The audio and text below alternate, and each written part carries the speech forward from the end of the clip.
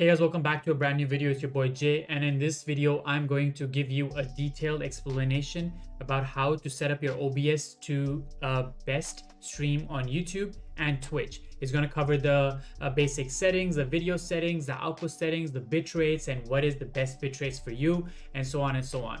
So stay tuned, watch the full video, and uh, I hope it helps you. If you aren't subscribed already, make sure you subscribe to the channel, turn on notifications. I go live every single day. If I post a video on YouTube, I go live on Twitch. But if I don't post a video on YouTube, then I'm definitely live on YouTube. Let's get right into it. So first things first, we are in our OBS right here. The OBS settings and the Streamlabs OBS are basically kind of the same thing.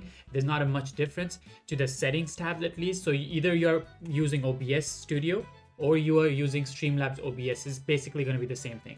So first things first, as you can see, you're going to open OBS, you're going to go to settings, and then straight up, we're going to get into settings. So once we are in the settings tabs, first of all, go to general, uh, try to copy all these settings. There's not a lot of you have to worry about in general, except for automatically start replay buffer when streaming. This you don't need it checked on.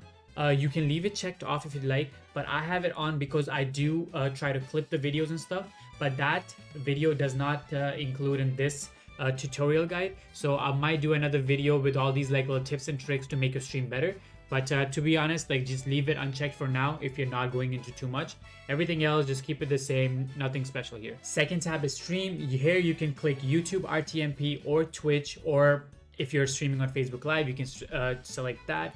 So if you click YouTube RTM, if you're streaming on YouTube, then you are gonna need to create an event on YouTube and then you're gonna need to copy the stream link and paste it here. I'll quickly show you how to do it. So once you're on your YouTube tab, you're gonna click create, go live, schedule a stream, you can create new stream or you can just select one of the old streams and just click reuse settings. You're gonna get a tab like that and then you click create stream and on the left side here, you are going to get uh, a stream key, which you can just copy and then paste it on OBS and you're good to go. If you are streaming on Twitch, then you just turn it like that, click Twitch and you connect your account and boom, you're, you're straight up ready to go. The output settings, we're gonna come here later, but for now, we're just gonna go to audio settings. Audio settings, I have everything on default. The mic I have selected as my microphone USB, which is a Blue Yeti and uh, that's pretty much it. Nothing much to play around here. Video settings the base canvas is the is the resolution of the monitor you have. If you have a 1080p monitor it's going to be 1920 by 1080p if you have a 1440p monitor like mine it's going to be 2560 by uh, 1440 so select the most highest base resolution you have and then in output if you're on YouTube and you have really good upload speed, then you can go for a 1440p stream. But if you are on Twitch, I recommend you just sticking on the 1080p stream or even lower if your upload speed is not that high. So output scale, you can just click it down. I can't click it right now, so I'll grayed out because I'm already recording in OBS. But if you're not recording in OBS, you won't see this as grayed out. And uh, you can click it and then you can select 1080p or whatever uh, resolution you want to select. Downscale filter, this filter right here, the Sharpened scaling 36 samples is the best in my opinion. So just go with that. FPS, you want the max FPS. Obviously, you don't want to stream on 30 FPS. Like uh, I feel like obviously if somebody's watching or even on an iPhone, they can tell the difference between a 30 FPS stream or a 10 uh, or 60 FPS stream. So stick with 60 FPS. Hotkeys doesn't matter for now. This I will work on. I'll make another video and uh, try to help you guys with the save replay option. But for now, just forget about it. In advanced process priority normal. Here you can select 709 color space color range full uh, NV12 DirectX 11 everything else is basically default. Now we can go to the output settings. First things first if you have an nvidia graphic card then i highly recommend you to go on the encoder and go nvidia nvenc new.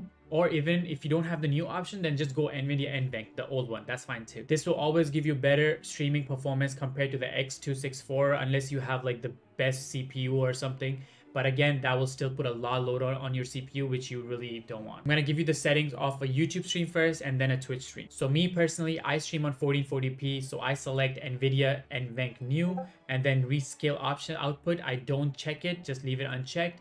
And then rate control, always leave it at CBR. Bitrate, if you are streaming on 1440p, if you're streaming 1440p 60 FPS, then you want the bitrate to be between 13,000 to 18,000 kilobytes per second. I have an amazing upload speed, so I leave it at 20 kilobytes per second. On YouTube, there's a lot of compression. So even if you're going 20 kilobytes per second, the stream is still not, gonna, not gonna look as good as on Twitch.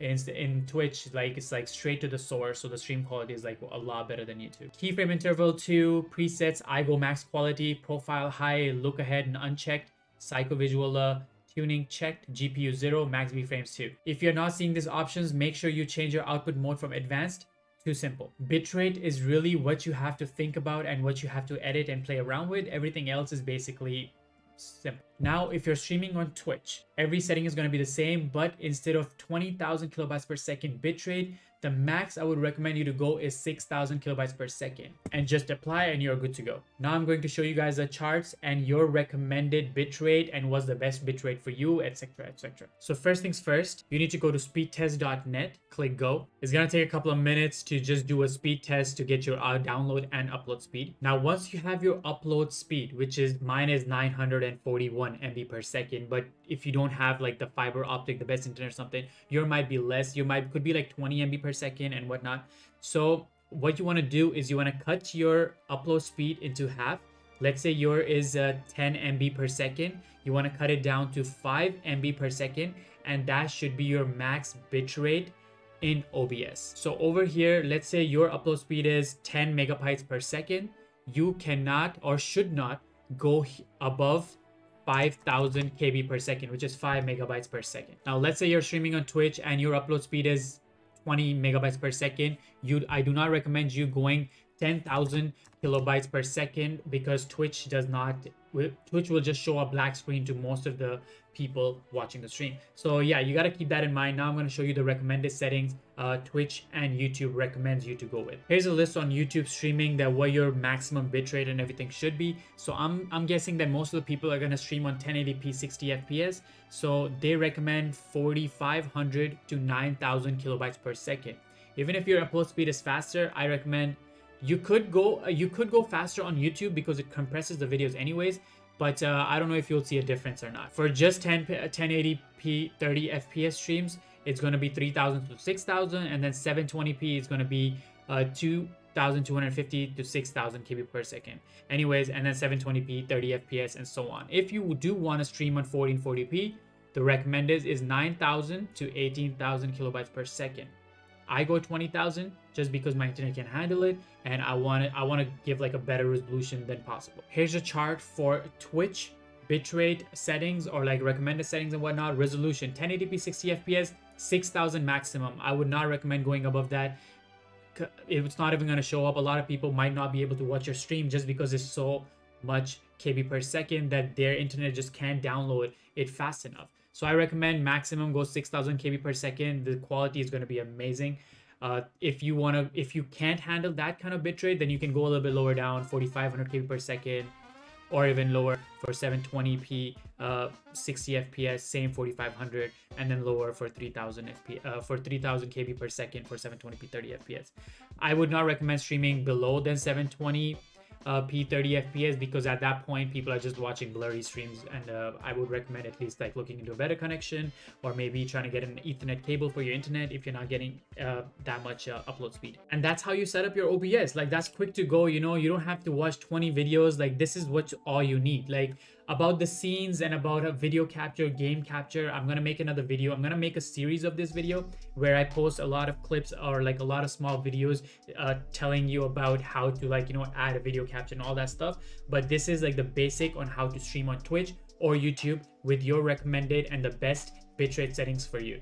If this video helps you in any way, make sure you like the video, comment down below something. If you have any questions, let me know. I will try to answer every single comment. Subscribe if you haven't already. I go live every single day. Turn on the notifications. I play games like Warzone, Fortnite, uh, Among Us sometimes, Apex sometimes, and you know, I'll be playing more and more games every day regardless. That being said, it's your boy Jay. Thank you for watching the video. Peace out.